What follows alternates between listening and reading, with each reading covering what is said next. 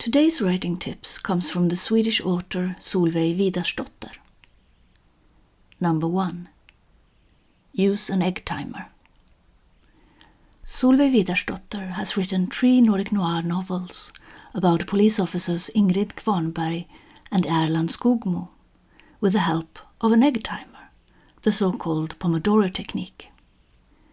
She says, if you know you want to write three hours in a day, you divide the time, for instance into periods of 15 or 20 minutes, and during that time you write as if possessed. During the breaks, that are also timed, you have to do something else, like doing the dishes, paying the bills, or just relaxing in the sofa.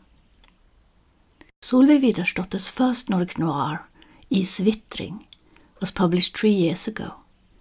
It is not yet translated to English. The title is a combination of the words ice and picking up a scent. In it, a boy is found hanging from a beam. Police suspect suicide, but is it really? Number two, plan ahead. Solveig Vidarsdotter says, if you want to write a script of 300 pages in six months, you need to write 12 pages a week. People get sick and need time off sometimes, so say 15 pages during 20 weeks. That is 3 pages per day, 5 days a week. That is doable. The editing can wait. Just write the story down from start to finish.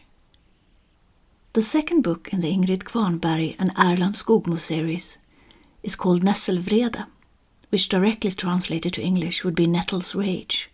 It refers to the beginning of the book, where a victim of murder is found among the nettles. Number three, invent a personal method. Solveig Vidarsdotter says, On large pieces of paper on the floor, I draw squares, one square for every chapter, and in it I place post-it notes, marking the different scenes of the chapter. I always keep coloured papers, pens, and other supplies close at hand. Solveig third book in the series is titled Rävlystnad. It's a combination of fox and a word that roughly is somewhere between greed and lust in meaning. It is to have one's eyes on something that one really, really wants. Rävlystnad was published in October 2019 and has, like the other books, had excellent reviews. Have a nice day of writing.